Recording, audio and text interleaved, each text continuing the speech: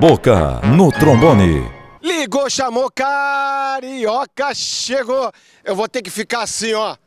Sabe por quê? Olha a situação que tá essa rua aqui. Isso aqui é para banar, para não ser atropelado. Esse movimento que tem aqui nessa rua, que é a transversal da Rua E com a Rua F, bem aqui no bairro Bosque da Saúde. Olha só, esse carro vai passar agora aqui, eu vou abanar para ela vir. Pode vir, Dona, pode vir, Dona. Passa por aqui. Pode vir que a situação aqui não tá fácil, não. Olha só o tamanho desse buraco que tá aqui. Tem que estar tá banando aqui para não ser atropelado, porque senão gente vai me atropelar aqui dentro do buraco. Olha só. Debaixo desse buraco aqui, gente, tem uma manilha. Em cima dessa manilha tem um aterro. Que em cima desse aterro tem uma camada de cimento. Que em cima dessa camada de cimento tem um asfalto lindo, maravilhoso que fizeram aqui. Serinha, faz favor, me ajuda aqui, ó, Serinha. Aqui tá difícil isso aí, ó. A gente tem que dar a mão aqui, assim, daqui a mão, Serinha. Ai, ai. Olha a fundura desse buraco.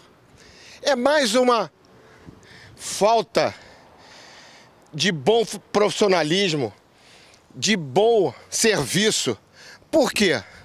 Como você pode ver aqui, esse asfalto aqui já foi refeito. Já foi feito e refeito. Pode ver aqui na. Bem aqui, ó. Asfalto novo, onde está o Elcio e eu aqui em cima. Pode ver, isso aqui asfalto refeito por causa de buraco. Bem aqui do lado, ó, ó aqui, Elcio. Você pode mostrar aqui, ó. O asfalto que foi refeito e o antigo. Isso aí é porca vergonha. Olha bem, os carros têm que vir para essa ponta aqui para poder passar. Dona, tá feia aqui, né? A situação aqui não tá boa não, olha só. A senhora não vai passar mais aqui. Sempre que chove, abre esse buraqueiro aí. É uma vergonha isso para Cuiabá. Mas né? isso não é, não é, de agora, não? Não, tá sempre abrindo esse buraco aí toda Conserta? Vez conserta, estraga, conserta, estraga. Quer dizer, não conserta não, ele só tapeia, né? Tapeia. E é perigoso, à noite aqui não tem uma iluminação. Não tem, tudo escuro à noite. Eu trabalho ali no Maruanã, eu não posso vir a pé nem a pé. Tudo escuro, perigoso. Agora, se o motoqueiro vem aqui de noite... Ah, cai no buraco. Já eu já quase caí. É mesmo? É, porque choveu muito, eu não vi que tinha eh, o buraco. E quando eu cheguei em cima que eu vi, ainda vinha outro carro, ainda quase bati no outro carro. Olha que perigo. E olha, vou dizer para a senhora, se a senhora... pagar meu prejuízo. E o tanto de imposto que eu pago, né? Quem vai pagar, né? É uma vergonha isso. Aliás, Cuiabá está uma vergonha, cheio de buraco, é asfalto remendado para todo lado. É uma vergonha isso. O povo só quer roubar, né? Como é o nome da senhora? Ana Maria Machado. Dona Ana Maria, a senhora tem razão. A situação não está feita, não. Então vai cá, já vem um carro aí. Já vem outro carro, não dá para passar. Pois é. Né? E Obrigado. que entra correndo aqui, e aí, né? Obrigada, bom trabalho. Aí outro, aí companheiro, mais um pouquinho a sua roda quase que cai ali no buraco. Pois é, quem quer pagar o prejuízo depois, né?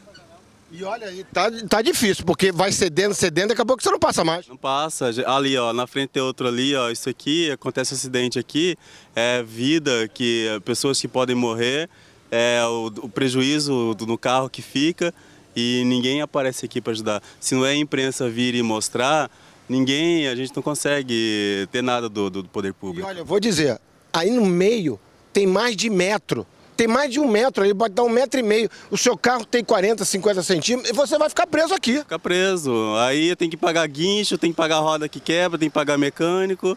Essa prejuízo. É do bolso de quem? Do meu. e assim vai.